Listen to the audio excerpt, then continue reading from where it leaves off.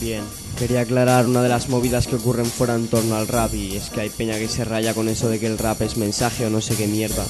Yo creo que nadie al coger un papel y un boli está obligado a nada, simplemente relata el rap desde su punto de vista. Creo que estáis equivocados. Si lo que queréis es saber la vida de la gente, pues compraros biografías. Si no sabéis lo que pasa ahí fuera, pues tenéis ojos para verlo por vuestra cuenta. Y no me refiero a los que escribís de tal manera, sino a los que tocáis los huevos a los demás. Yo usaré el mensaje cuando me salga de las pelotas y como agradecimiento os traigo un mensaje que si no os ha gustado algo de lo que he dicho os podéis meter vuestras opiniones por el culo.